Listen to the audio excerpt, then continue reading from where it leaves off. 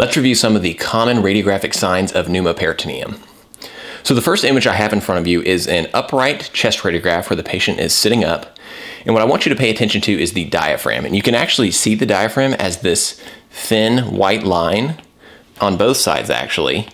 And under the line you see this lucency and that is the free air. So anytime you're looking at a chest radiograph, it's extremely important to look under the diaphragm, look in the upper abdomen, and see if you see evidence of pneumoperitoneum, because that's a critical finding and most of the time is a surgical emergency. This next radiograph is kind of a variant of what I already showed you, which was free air under the diaphragm, but in this case we have what we call the continuous diaphragm sign. And in the continuous diaphragm sign, you again see the pneumoperitoneum underlying the diaphragm. There's a lot of gas underlying the left hemidiaphragm, and you see a little bit under the right too. But what we also see in this case is a continuous line of that lucency which traverses the midline and is almost connecting the two collections of gas underlying the hemidiaphragms. And that is the continuous diaphragm sign, another telltale sign of pneumoperitoneum. So this next radiograph is an image of the actual abdomen. We see quite a bit of dilated bowel. And what I want to show you here is Rigler sign. Rigler sign is another very common sign that we associate with pneumoperitoneum. Rigler sign happens when bowel and free air are kind of superimposed on the image, and because of that, you see both sides of the bowel wall as evidenced by a white line on the image. So I want you to focus on the left hemi-abdomen here, and more specifically, I want you to focus on this white line that we can see going craniocaudal in the left hemiabdomen. This white line is Rigler's sign. This white line is a loop of bowel. It is the bowel wall, and we're able to see both sides of the bowel wall because there is superimposed pneumoperitoneum on the radiograph, which then allows for us to see both sides of the bowel wall on both sides of these arrows, and that is Rigler's sign. To be honest, it's kind of confusing to even explain it, but I want you to just focus now on the right abdomen and I want you to look at this loop of bowel containing gas right here. Notice how we can't really see a defined line of both sides of the bowel wall. That is because that's a relatively normal looking loop of bowel in comparison to the left side. I have another radiograph of the abdomen pulled up, and in this one I'm going to show you the telltale triangle sign, which like Rigler sign is another one of those clear indicators of pneumoperitoneum.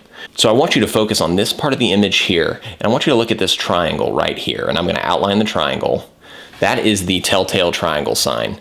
Normally when we see gas in the abdomen, it should be clearly within a bowel lumen.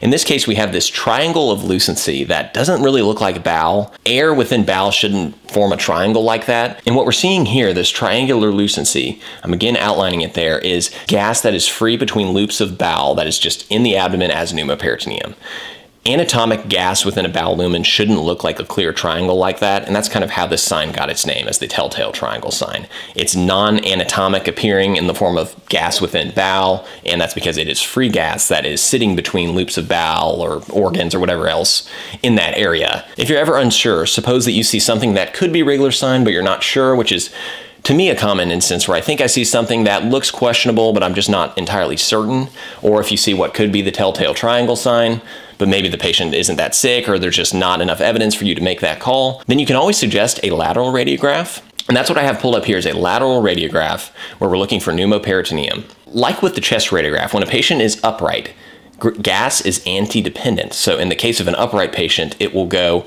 under the hemidiaphragm. Similarly, when a patient is lying on their back, gas should go up because it's antidependent and it will sit under the anterior abdominal wall. And you can look on a lateral radiograph for that, and you can see the pneumoperitoneum sitting up there outside of bowel. So for instance, this gas that I'm outlining here is not contained within bowel, and that's what you're looking for. I want you to contrast that to this loop of bowel here, and there's gas inside, that's all the gas there. But this gas external to that loop, that's the pneumoperitoneum, and you see it sitting right under that anterior abdominal wall. So with this lateral radiograph, you can look and see what gas is within bowel, is all the gas within bowel, or is there gas that is sitting up there outside of bowel? And that would be your pneumoperitoneum. That's exactly what we see here. We see this lucency that is clearly not within the bowel lumen because we see loops of bowel containing gas, and this gas, this pneumoperitoneum, is outside of that. This next case is a pediatric patient and it's not as subtle, and this is demonstrating what we call the football sign, which I really don't understand how they got football out of this sign, but I'm gonna at least show you the pneumoperitoneum in this case. So I want you to notice first these loops of bowel that have some gas at least. Here's some more bowel loops here. There's some bowel loops there containing gas, but look at all this lucency that I'm putting my arrows on here, here, some lucency there. That's all pneumoperitoneum, and there's so much of it that you can even see the outline of some of the organs. For instance, this is the liver here that I'm starting to outline. You can't quite see the spleen, but you can at least see the liver. And that, that is because there's a contrast from all this lucency, all this pneumoperitoneum that's clearly not within bowel. Again, we don't see what anatomically looks like bowel. We just see all this lucency along the margins of the abdomen. That is pneumoperitoneum, and that is what we call the football sign. This case is even more obvious there is clearly pneumoperitoneum, again, all this lucency on the margin of the exam. And what I wanted to demonstrate here is tension pneumoperitoneum. You've probably heard of a tension pneumothorax. This is a similar entity in that there's so much gas, there is mass effect upon the abdominal organs, and they kind of get pushed towards the midline. You can see this is liver here, and the liver is being pushed away because of all this gas. And similarly, all the bowel loops, all the other organs are being pushed internally because there's so much gas, and it creates this positive pressure effect similar to a tension pneumothorax, where you have a pneumothorax that starts causing midline shift in the heart and mediastinal structures to shift to the contralateral side from the pneumothorax. So this is tension pneumoperitoneum. And that's my review of the radiographic signs of pneumoperitoneum. Thanks for watching.